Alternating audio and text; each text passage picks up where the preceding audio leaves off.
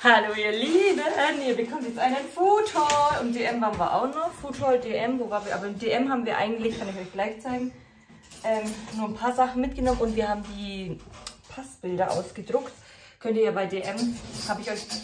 Real müsste jetzt dann online sein, schaut auf Instagram, da könnt ihr Passbilder für 19, nee stimmt nicht, nicht 19 Cent, sondern wie viel? Pro Ding, vier Stück, 27 Cent.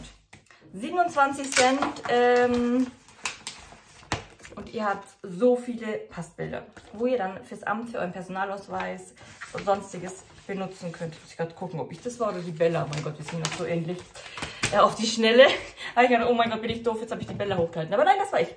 Genau. Habe ich euch eine Reel auf Instagram abgedreht, so könnt ihr euch nämlich einiges sparen, denn ich finde immer, Passbilder machen kostet ein Schweinegeld und ihr könnt das ganz easy von zu Hause aus mit eurem Smartphone machen. Ihr braucht dafür nicht viel dazu. Wie es genau geht, habe ich auf Instagram in dem Reel euch gezeigt. Genau, das habe ich letztes Jahr schon mal gemacht oder vorletztes Jahr und haben so viele gefragt. Deswegen habe ich mir gedacht, dieses Jahr mache ich ein Reel draus. Vor allem musste man nochmal was ändern, weil die App, was ich damals verwendet habe, die ist natürlich jetzt nicht mehr kostenlos. Ne? Schön viel Werbung für die App gemacht, ist natürlich kostenlos. Und dann haben es viele runtergeladen und dann ist sie nicht mehr kostenlos. Und die Karotte, sie hat auch schon mal bessere Zeiten gehabt. Die hat nicht mehr warten können, bis der Osterhase kommt. Das ist vom Kindergarten. So, ich fange mal an. Bei DM kam mein, mein allerbestes Lieblingsspielmittel mit für 85 Cent. Jetzt kommt die Bella. Ähm, komm nicht rein. Wir räumen auf und genießen noch das schöne Wetter.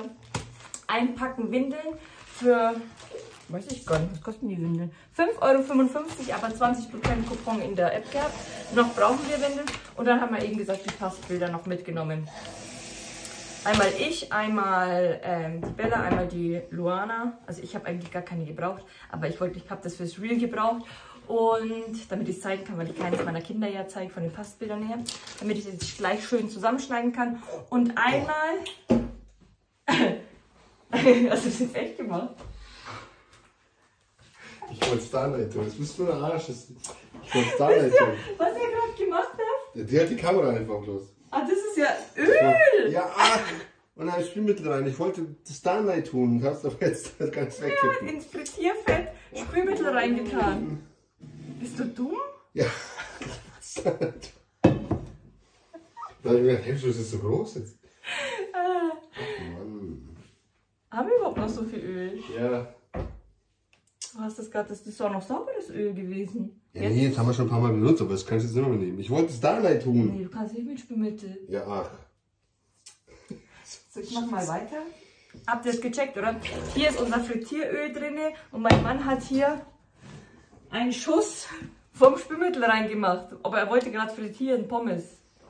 Ja, jetzt. Aber hat, eigentlich wollte er was abspülen. Ja. Und war in Gedanken wahrscheinlich. Von deinem von mir. Warst du verwirrt von mir, gell? So. Mhm. Ja, ja. Ähm, 3,90 Euro für dieses Fixer-Pack, ne? Ist auch nicht voll da, oder? Keine Ahnung. Haben wir zweimal mitgenommen, weil Cola sucht, ne? Weil du Säufer. Cola sucht. Unglaubliche Cola sucht. Und dann haben wir eigentlich gesagt, wir nehmen nur ein paar Sachen mit, ne? Nur so für jetzt, für Mittagessen. Für Mittagessen. Dann habe ich mir schon gedacht, na toll. Und im Auto ist nur so eine riesen Ikea-Tüte. Ihr seht, die Ikea-Tüte ist toll. Zum Mittagessen haben wir eigentlich erst gedacht, gibt es Würstchen mit Semmel. Also Wurstsemmel. Nee, Bratwurstsemmel. Ja. So heißt es. Pro Semmel 19 Cent. Dann hat die Bella aber Grillfackeln gefunden. Das gibt es ja nur im Sommer. Da gesagt, boah, können wir Grillfackeln machen. Und ich habe ehrlich gesagt auch mehr Bock auf Grillfackeln. Kann der seine Wurst selber essen. Deswegen. Ja, später mal morgen, heute Abend machen oder morgen. Was machen wir jetzt zum Essen? Grillfackeln. Grillfackeln. Achso, Wurst machst du jetzt auch gar nicht. Du willst nee. auch Grillfackeln.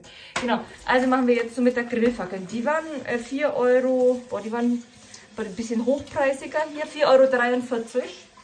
Ah, oh, es ist so schlimm im Winter, wenn es keine Grillfackeln gibt. Haben wir nicht zwei mitgenommen? Ja, eine liegt schon. Ach, da unten liegt eine. Koppenrad und Wiese waren nicht im Angebot und seid bitte ganz stolz auf mich. Und ich habe sie trotzdem gekauft. Ich hatte erst die Classic Salmon, aber die schmecken halt nicht so gut. Kosten 1,19 Euro. Die Classic Salmon sind 9 Stück drin. Koppenrad und Wiese Semmeln schmecken unglaublich gut und lecker. Kosten aber 1,79, wenn die nicht im Angebot sind. Dann stand ich davor, ihr wisst, mein Schnäppchenherz. So, Classic-Semmeln schmecken nicht so gut. Koppenrad und Semmeln sind teurer, schmecken dafür bombastisch geil. Was machst du, Lisa? Was machst du? Natürlich das nehmen, was gut schmeckt. Mann, du arbeitest, also darfst du auch Geld ausgeben. Und das ist so mein Problem immer, ne, so ein bisschen. Ist eine Hürde, aber ich werde besser. Manche denken sich bestimmt, bist du da oben alles schaffen? Das denke ich mir, das denke ich mir auch. Ja, aber das, das verstehen jetzt nur Schnäppchenherzensparer. Mhm. Schnäppchen. Da, bestimmt habe ich den einen oder anderen hier, da, der das versteht, dass es manchmal echt schwierig ist und man mit sich hadert, ähm, was man nehmen soll, oder? Oder? Schreibt es in die Kommentare. Schreibt es in die Kommentare, wenn du auch manchmal so denkst und vor dem Regal stehst. Schmeckt gut, ist aber teurer, scheiße, nicht im Angebot, was mache ich? Ah! Ich habe mich gut entschieden, oder? Für die schmeckt gut Variante. 1,15 Euro für Fleischwurst. Ähm, dann haben wir gesagt, jetzt ist die Sonne fast weg. Ja, aber dann haben wir gesagt, wir machen heute Nachtisch ein Eis. Bestimmt, wenn Nachtisch Eiszeit ist, ist äh, regnet es bei uns draußen. 2,39 Euro. Und ich bin eher Team sowas, aber das darf die Amelie, glaube ich, nicht essen, oder? Nee, weil da allein schon Haselnüsse drin sind. Die dürfte es, aber ob da jetzt Ei ist, weiß ich nicht. Aber die darf ja keine Nuss. Ah, nee, Mandel ist da nicht Nuss, sondern Mandel. Aber die dürfte ja überhaupt keine Nuss essen. Und ist da hm, Ei auch mit. Und heute wollen wir übrigens auch noch Eier färben. Was wollt ihr noch alles machen? Wir wollen halt alles machen. Keine Ahnung, Ei lese ich da jetzt nicht. 2,99. Alter, das wird auch immer teurer, oder? Oh. 1,99 für Aufbackbrezen. Wisst ihr, ich gebe euch da mal einen Tipp und das steht wahrscheinlich da auf der Anleitung drauf. Aufbackbrezen schmecken am geilsten, wenn ihr die 15 Minuten vorher draußen auftauen lasst. Wieso ist der so laut? Entschuldigung. 15 Minuten vorher auftauen lassen. Wie steht so leise? Laugengebäck circa 10 Minuten bei Raumtemperatur antauen lassen. Es steht sogar so drauf. Das haben wir nämlich herausgefunden, ohne dass wir die Anleitung gelesen haben. Halbe Größe. Kerrygold-Butter war im Angebot, die habe ich letztes Mal gar nicht bekommen. Diesmal gab sie für 1,35 Euro. Jetzt muss ich aber überlegen. Oh nein, mein Sonnenblumenbrot einmal total zerquetscht. 1,99 weil der Papi nicht packen kann. Das kann ich du warst es. Du, wenn du was scheiße weißt du, merk dir was. Wenn was scheiße läuft, bist du dafür verantwortlich. Ja. Wenn was gut läuft, dann bin ich dafür verantwortlich. So. Oh. Kaputt. Schau, ist auch mein Mann dafür verantwortlich, dass es jetzt kaputt ist. Milka-Schokolade 65 Cent. Ja, jetzt heul nicht. 65 Cent und 65 Cent. Ich habe wieder eine übelste Schokoladensucht. Ich stehe aber auch gerade wieder kurz vor meiner roten Welle. Einmal Eier. Erklärt einiges. Erklärt einiges. Bin ich irgendwie furchtbar gerade? Ja. Was merkst du Du bist immer furchtbar. Weißt so. du, was du machen kannst? 1,99 für Eier. Karotten, die Krümel, 99 Cent das Kilo. Das habt ihr gesehen? Das ist zweite. Und dann hat er noch die ekligen Pommes mitgenommen. Ich mag, was seid ihr? Team dicke Pommes oder habe ich dünne sogar auch? Ist auch dicke, oder? 7 mm. 7 mm. Was seid ihr? Eklig. Seid ihr Team dicke Pommes oder seid ihr Team dünne Pommes? Boah, ich mag nur dünne Pommes. Ich finde dicke Pommes schmecken so krass nach Kartoffel. Oder so, so, so mehlig und keine Ahnung. 1,89 übrigens. Grobe Bratwurst. Was hat deine Bratwurst gekostet? Keine Ahnung. 2 Euro oder so. Was kostet die Bratwurst?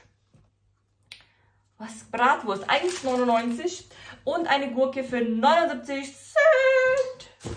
Ja, dann auch schon wieder beim Kaufland und wir wollten eigentlich nur uns schnell das Mittagessen einfangen. Um uns schnell das Mittagessen einzufangen, haben wir 45 Euro und 37 Cent ausgegeben. Meinst du, die kann man noch benutzen, die Gurke? Äh, Karotte? Warum ist die so? Die ist, die, die ist zwei Tage zu Hause. Was ist mit der passiert? Woher kam sie? Sie sah vor zwei Tagen noch gut aus. Warum ist, passiert das bei einer Karotte? Ähm, ja, da ist aber auch noch ein Ei drin. Ihr Lieben, vielen, vielen Dank. ja, ich höre schon auf. Das war's mit ihr. Oh, die klebt auch schon, die hat schon gesüfft. Vielen, vielen Dank fürs Zuschauen. Über einen Daumen nach oben würde ich mich riesig freuen. Über ein kostenloses Abo natürlich auch. Und schaut dann auf jeden Fall, auf jeden, jeden, jeden Fall auf Instagram vorbei. Lisa Schnapper. Ich setze mich jetzt direkt hin und versuche dieses Reel zu schneiden. Dann ist es nämlich definitiv online, wenn das hier online geht. Ich überlege gerade, ob ich das gleich online stellen soll, dass es gleich aktuell und total aktuell ist oder ob ich es nicht gleich online stellen soll. Werdet ihr sehen, ihr Lieben. Vielen, vielen Dank fürs Zuschauen und bis zum nächsten Mal. Tschüssi.